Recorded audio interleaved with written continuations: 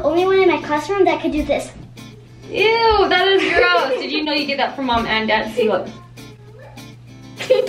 we can both touch our nose with our tongues. Can you touch your nose with your tongue? No, Not I can go up my nostrils. Ew, up your nostrils. Wow! Who is ready for today? My ear stairs, baby! Baby! That's how you want to do Rock on! Rock on! I have been waiting for this day for Eight eight years. When I found out I was having a girl eight years ago, I said to myself, one of these days I'm going to take my sweet little girl. We're going to go on a mother-daughter date and we will get her ears pierced and it is an opportunity for us to spend time together and for you to remember it your entire life. Could I have gotten her ears pierced when she was a baby? Yes. However, we chose to wait for Emma to get a little bit older so that she can have responsibility. She can take care of her ears and make sure they stay clean and healthy and twist the little earrings and that you'll remember this day forever because I wanted you to remember the day you got your ears pierced. Do you remember the day you got your ears pierced?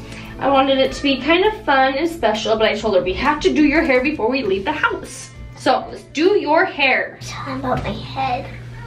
Emma wants me to tell you about her head.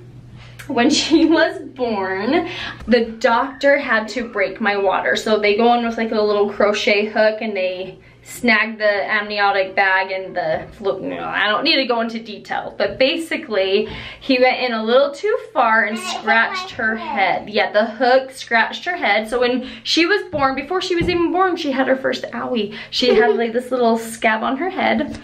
You can see how her hair parts in a line right there. That is a scar from when you were still in my belly. Is that crazy?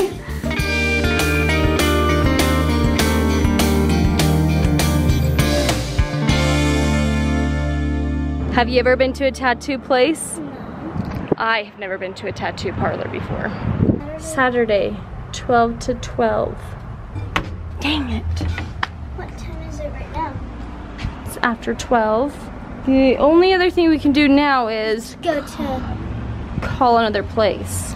You're thinking Claire's, huh? Yeah. A lot of people go to Claire's to get their ears pierced, which is fine. I think that's where I went. I've just she's she's anxious now. I have just heard lots and lots of things from so many people saying, don't go there, go to a tattoo place instead because they the gun that they use is for sure sterile and I don't know. I just I don't remember what all I heard other than we will find another place. Let's get on Google and find another place. Convicted ink tattoo, here we come. Okay, why don't you pick out a pair of earrings? Okay, Emma's picked out a color of earring stud. You picked out pink, huh? So they actually just told us why a lot of people come to tattoo places instead of Claire's Together ears Pairs. Um, the way the needle or earring goes into the ear. This is less traumatizing to the tissue. It's more of like a needle opening at the skin instead of the piece of jewelry just like blunt forcing into the skin. So that is why, and it is more sterile than Claire's. I just bit my tongue on accident while I was chewing my gum and it hurt. You're nervous? Someone is getting their tongue pierced right now. That would make me nervous.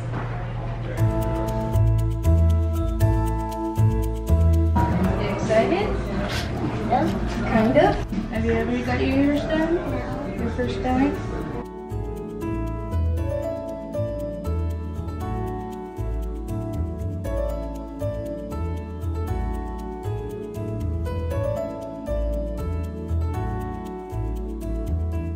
Alright, take a deep, deep breath. One, two, three.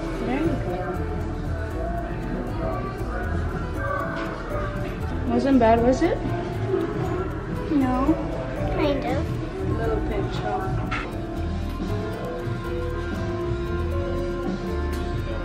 So I didn't even realize you didn't even use a gun. So you don't even use guns here. Okay. So we just use needles here. Okay. Okay, we're gonna switch sides, Emma. Are you ready to do the other ear? You can't give up now, huh? It looks good. Let me double check. Making sure they're even.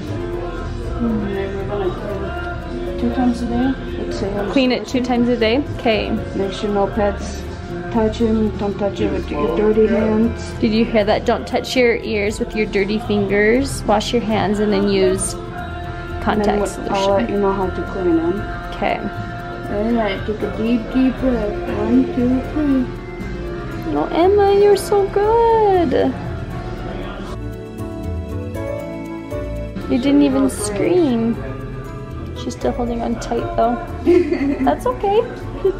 We're done. I just gotta put the ball in and you're done. Let me see what it looks like without the ball. So it's a flat back that we put on. I like it. You do? Mm-hmm. So I thought when you got your ears pierced, you're supposed to twist them. And she said, don't twist them because that will like reopen it up and you can get more infection that way. Instead of twisting them, instead move it forward and backwards. So that's how you're supposed to do it. You just move it forward and backward. So Emma's earring is actually a flat back. If you can see that, it'll prevent hair from catching on it easier. And you just twist off the little stud. That stud, here, turn your head. So the earring right there is just twisted onto that flat back right there. So we just twist it and then pull it off the backwards way. Cool, huh?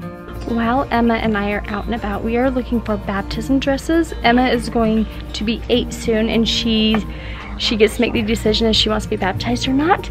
And so the store was on the way and the very first dress that we saw, she fell in love with. Like we haven't even looked through the store and I think that is beautiful. Should we look around? Okay. Wow, there's lots of pretty ones in here.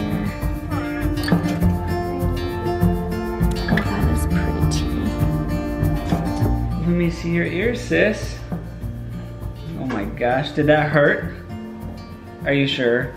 Maybe think- just a little bit. Did you? Oh. Did you cry? So brave. No? For real? No. Did it hurt? I mean, like, let me see your other one. It only hurt a How long do you have to keep those in for? Six weeks. Six weeks? You can't even ah. take them out for six weeks? No, it's six weeks. So I think she's being a little timid right now because they initially I don't think it hurt her so bad, but as it's been about an hour or so, mm-hmm. it's really tender now. It's gotten really tender, and so I think she just probably needs a little Tylenol in her system now. That it's just been a little bit. Awesome. That is beautiful. They did a good job to get him right in the right spot. You look awesome. And I see you got a dress over there. Go grab it. Let me see it. Emma is going to be the easiest wedding to plan when she gets older. She makes decisions like super fast and she's the one I want. Yep. Yep, yep, we walked into the store, first thing she saw, she's like, I like it, and she went with it, and What is this dress for, sis?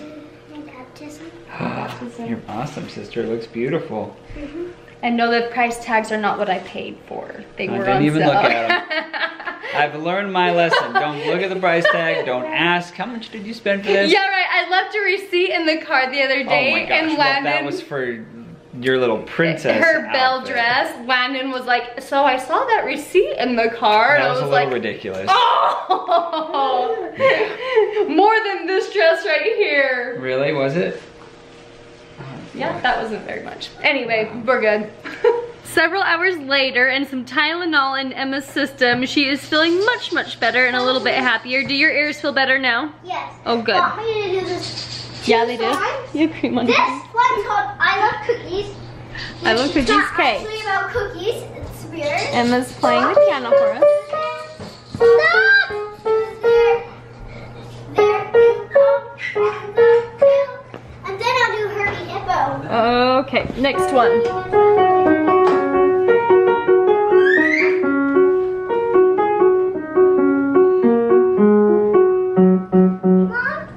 Porter does this thing every time I ask him, how much do you love me? And sometimes he voluntarily tells me how much he loves me, but I don't think I've ever actually recorded it. I think I've done an Instagram story, but I would be so sad if he outgrew this and I never caught it on film. So Porter, how much do you love mom? Two thousand million, two hundred million,